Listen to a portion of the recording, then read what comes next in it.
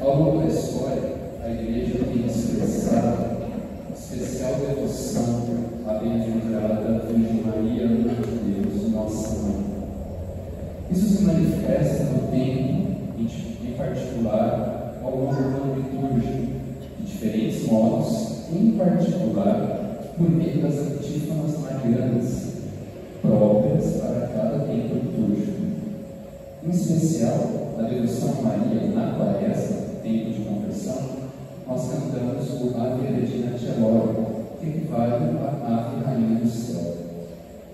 Essa bonita peça, do barroco do compositor Antônio Lotti, dos séculos XVII e XVIII, nos leva a rezarmos a Virgem Maria, pedindo que interceda junto a Deus por nós, pecadores, em favor.